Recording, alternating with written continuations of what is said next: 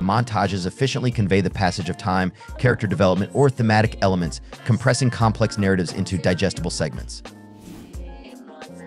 A mix of visually interesting shots, a strong thematic through line, purposeful editing, and an evocative soundtrack or score.